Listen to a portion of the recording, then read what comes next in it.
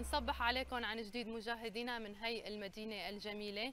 وهلا رح نحكي بأولى فقراتنا عن محصول القمح. هذا المحصول الاستراتيجي ومن المعروف أنه القمح هو منتج استراتيجي رئيسي للغذاء سواء ببلدنا أو بكافة أنحاء العالم. هو من أقدم المحاصيل اللي عرفتها البشرية. وفي كثير من الأنواع لزراعة القمح حسب التربة والمناخ. رشا. أكيد ليلى وضمن صباحنا لليوم كونه نحن موجودين بمدينة طرطوس حبينا اليوم نرصد ألواقع الخدمي للحبوب للمخابز. اليوم كيف عم بيكون محصول القمح؟ كيف عم بيكون آلية توزيع القمح على الصوامع؟ ولنحكي أكثر عن هموم مواطنين طرطوس وأيضا عن الجهود يلي عم تبذلها محافظة طرطوس.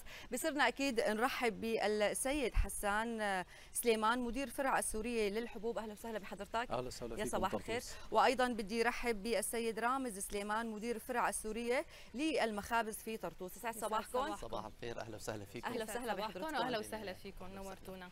بداية أستاذ رامز خلينا نحكي عن واقع المخابز بطرطوس بشكل عام.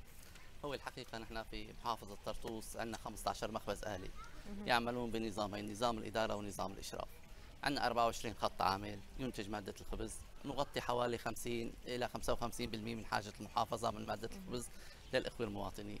والحمد لله الوضع جيد جدا مستلزمات الإنتاج متوفرة ما في أي إشكالية يعني كله تمام الحمد لله. الله يعطيكم الحمد لله. دائما أكيد في جهود مضاعفة من قبلكم ومن محافظة طرطوس اليوم لتحسين أو رفع خلينا نقول سوية الواقع وهموم المواطنين. يعني خلينا نروح لعند حضرتك ونحكي اليوم. نحن وقت بنقول قمح نحن عم نحكي محصول عم نحكي اقتصاد عم نحكي اكتفاء ذاتي قبل ما يكون عندنا شيء خارجي. خلينا نحكي اليوم عن محصول القمح بهي السنة كيف كان؟ طرطوس مثل أخوتها بقية المحافظات عم تعيش بهالأوقات هي اعراس الحصاد واستلام الأقماح بالمراكز. طبعا طرطوس فيها مركز اسمه مركز العنابية خاص باستلام أقماح المزارعين في كل المحافظه هناك إقبال كبير من قبل المزارعين على تسليم الأقماح إلى هذا المركز.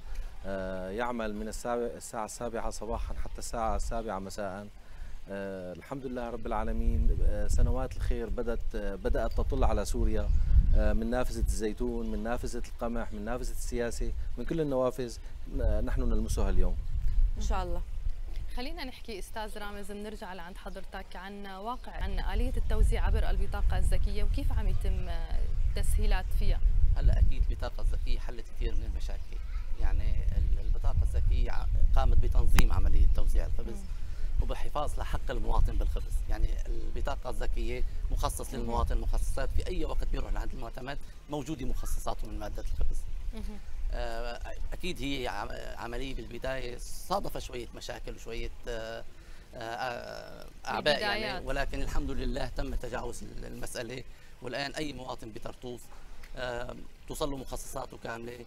بأريحية وبمنتهى البساطة وما في أي تعقيد بالعملية فينا نقول تعودوا على هي الآلية. طبعا أكيد أكيد. في أي تجربة يمكن كان في شوية خلينا نقول ضغط بعدد المراكز توزيع الخبز. يعني كان في شوية ضغط على المراكز. وهذا الشيء أدى لازدحام ببداية يعني تنزيل الخبز على البطاقة الذكية أنت شوفي هو أول دائما وابدا التجربة بأول تطبيقها بتتصادف بعض المشاكل. صحيح. وهي المشاكل بنتعلم منها وبنحلها في فيما بعد. فتم زيادة عدد المعتمدين.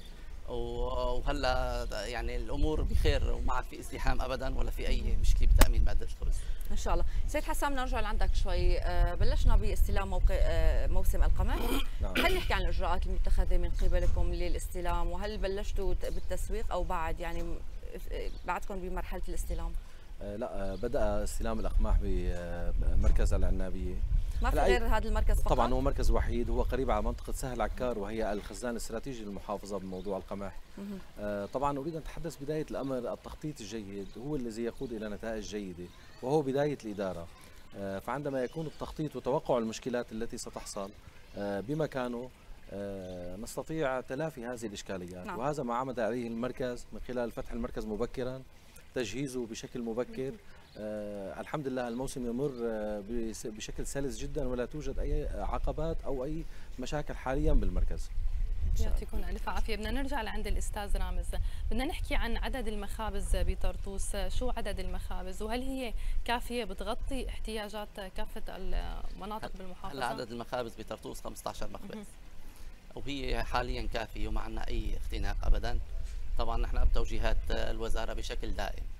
وبشكل مستمر ويومي شبه يومي بالحفاظ على جودة الخبز بإجراء الصيانات الدورية لخطوط الإنتاج وما نقوم فيها بشكل دوري والحمد لله الأمور بألف خير. وما عندنا أي حالة اختناق على الإطلاق تأمين مادة الخبز. هذا الشيء كثير مهم أكيد رشا.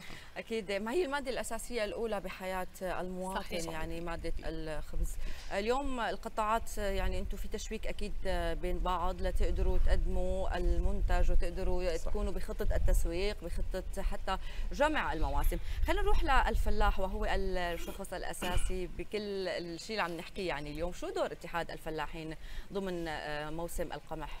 آه، يلعب اتحاد الفلاحين دور كبير في هذا الموضوع فهو الذي يدعم المزارع منذ بداية الزراعة من خلال دعم تأمين الأسمدة دعم تأمين البزار. هي عملية متكاملة تقوم بها عدة مؤسسات من مديرية الزراعة مؤسسة إكسار البزار اتحاد الفلاحين آه، المصرف الزراعي السوري للحبوب وصولا كمادة إلى القمح من ثم إلى مطاحننا. بعض المطاحن نذهب إلى المخابز لصناعة الرغيف.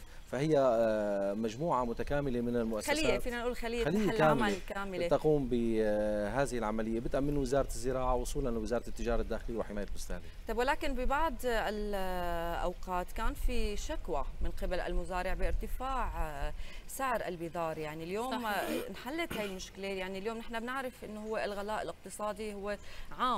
ولكن اليوم نحن عم نحكي عن مادة أساسية عم نحكي عن أشخاص هم ركائز آه، بالعمل يعني الفلاح المزارع اتحاد الفلاحين اليوم في خطط اليوم لحتى اليوم الوضع يناسب يعني إن كان بالأسعار بالمواد الأولية ليه يقدر هذا الفلاح يشتغل ويزرع وينتج ويقدم اليوم للدولة؟ طبعا الخطط لا توضع للحظة زمنيه معينة الخطة توضع لمرحله لمراحل كاملة مراحل زمنية سنوات. لاحظنا من خلال السنوات الماضية آه، ارتفاع تدريجي بأسعار القمح التي تسعرها الحكومة للمزارع. هو هذا ارتفاع عالمي كان أستاذ صح؟ آه، جزء منه ارتفاع عالمي وجزء منه دعم من الحكومة للفلاح نعم. بسوريا.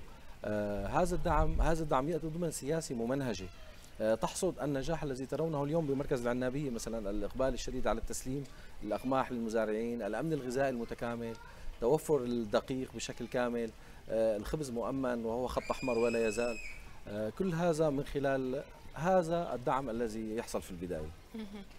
آه، أستاذ رامز نرجع لعند حضرتك. بدنا نحكي شوي عن معوقات العمل بالمخابز وعن اليد العاملة، اليد العاملة كافية اليوم آه، لتغطي هي الاحتياجات وشو هي المعوقات اللي بتواجهوها من خلال عملكم؟ يعني هي أكيد الهم والاهتمام اليد العاملة واليد العاملة الخبيرة يعني.